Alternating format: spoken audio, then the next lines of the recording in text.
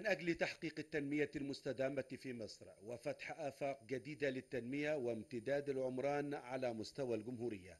جاءت توجيهات القيادة السياسية بضرورة تطوير الطرق وإنشاء طرق جديدة ومحاور تربط كافة أنحاء الجمهورية. وذلك بعد أن أصبحت الزيادة السكانية تمثل أكبر تحدي يواجه الدولة المصرية وبعد أن تحولت الطرق في المدن إلى جراجات لا تستوعب حجم الحركة المرورية. لذا قامت الدولة في الفترة الأخيرة بتنفيذ شبكة طرق ومحاور قومية تربط مناطق التنمية الواعدة.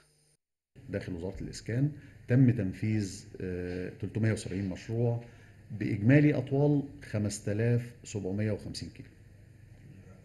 رقم كبير جدا يعني إحنا يمكن ال- ال- الطرق القومية آه، لما اتكلمنا فيها كان في حوالي 3000 كيلو.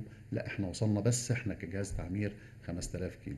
إحنا طبعا آه، لو قلنا ال 5000 كيلو دول آه، منهم طرق قومية ومنهم طرق رئيسية ومنهم طرق داخل المدن ومنهم طرق آه، داخل الريف. فيمكن أنا بقول إن حجم الطرق اللي اشتغل إذا كان الجهاز المركزي للتعمير اشتغل ال 5000 كيلو دول في خلال الفترة السابقة. فأكيد إحنا وصلنا يمكن ويمكن فخامة الرئيس أشار إن مش هم طرق قومية بس لأ ده إحنا شغالين في جميع الطرق اللي داخل جمهورية مصر العربية. أنا مش عايز أقول لحضرتك بانتهاء حياة كريمة جميع الطرق داخل جمهورية مصر العربية هيتم آه، آه، رفع كفاءتها وإعادة إنشاء طرق جديدة آه، داخل الجمهورية بالكامل.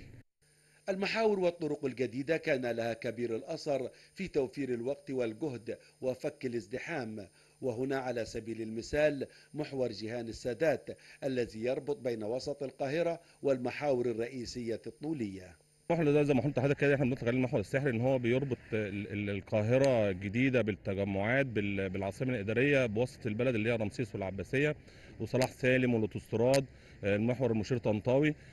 مدينة نصر كلها. آه، زي ما قلت لحضرتك كده المرحلة الثانية هي بتنزل عند شارع ذاكر حسين ومنها التجمعات.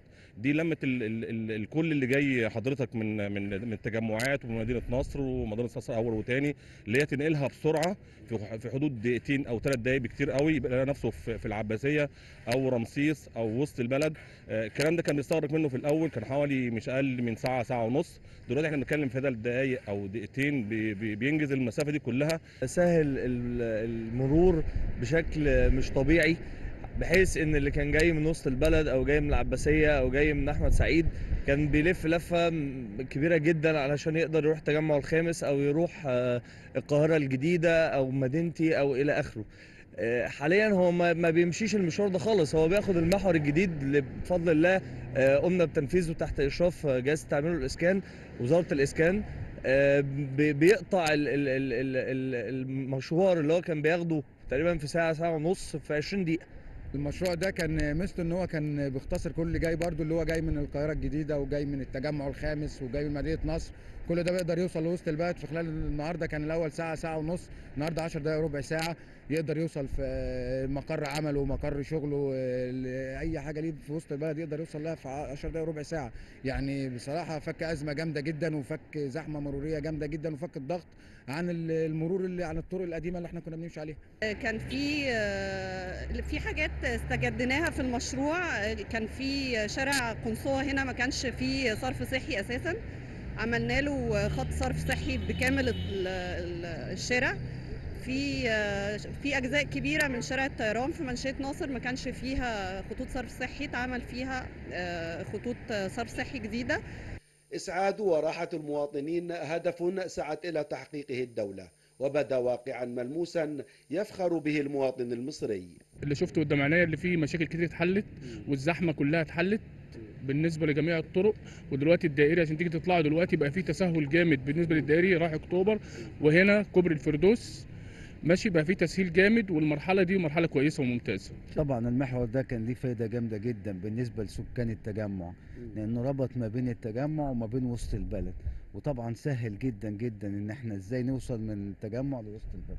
فطبعا ده كانت حاجة جميلة جدا علاوة على آه، حاجات كتيرة قوي غير المحور دوت محاور كتيرة جدا موجودة في القاهرة اتعملت فعلا كان ليها دور فعال في إن هي آه، تعمل آه، توسعة شوية في البلد تخلي ال- الزحام ده يتفك شوية اللي إحنا كنا فيه.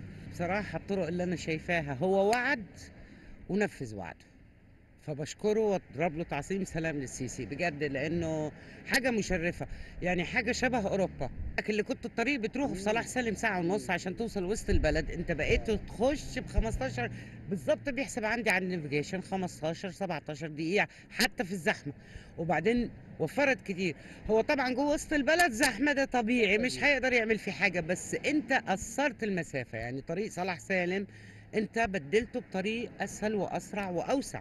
بس بصراحة الشعب لازم يساعد. بس الحكومة لوحدها ما بتساعدش. عمر ما كان بلد يعني حكومتها تعمل لازم الشعب يكون معاه. ده اللي أنا أعرفه. احترام احترام القوانين احترام المرور في حاجات لازم تتظبط. ويأتي حاليا الدور على تطوير شبكات الطرق والمرافق والخدمات في الريف المصري من خلال المشروع القومي لتطوير الريف المصري ضمن المبادرة الرئاسية حياة كريمة. أحمد أبو الحسن النيل.